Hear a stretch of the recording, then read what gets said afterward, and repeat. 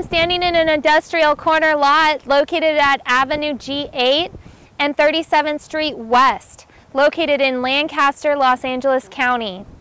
This property is north of the Michaels Distribution Center and it's zoned industrial in the specific plan.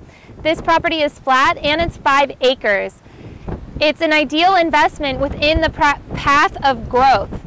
Owner financing is available with a 30% down payment. If you're interested in this property, please contact us for more information.